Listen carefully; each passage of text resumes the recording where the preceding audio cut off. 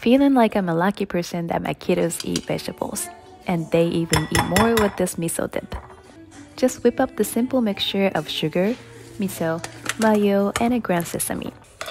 I had a bell peppers and a cucumber leftovers on hand today for the veggie sticks, but feel free to try your favorite vegetables and enjoy.